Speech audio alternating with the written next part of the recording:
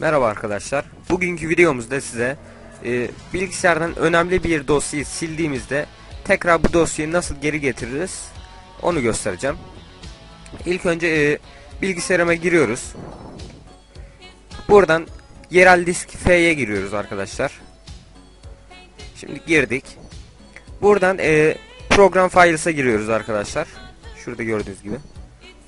Daha sonra buradan mesela Bakın arkadaşlar burada hiçbir şey silemeyiz. Silsek e, mutlaka bazı problemler çıkabilir.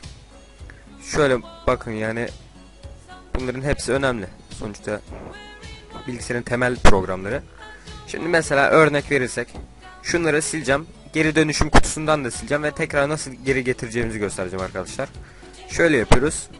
E, sil de diyoruz arkadaşlar. Hayır diyoruz.